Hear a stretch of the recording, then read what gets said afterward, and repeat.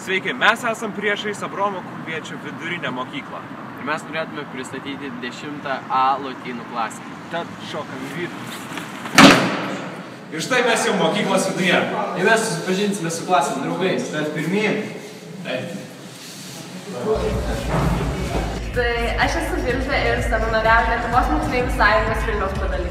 Esu Ugnė, esu Lietuvos mokinių parlamento narė. Esu Gabija, penkis kartus Lietuvos čempionė padarinkomojo sporto. Esu Indrė ir atstovauju vienai geriausių Lietuvos modelio agentūrai Supermodels. Urte, jau keturis metus lankau Izina Vidažinskio dailės mokyklą. Šiemet grįžęs diplominį darbą ir tikiuosi man puikiai pavyks. Ant gatvės stovi tarp Jono ir Lauryno. Ir mes dešimt metų šokam kalbų šoką. Ir džiuginam Lietuvos ir užsienio žiūrovus.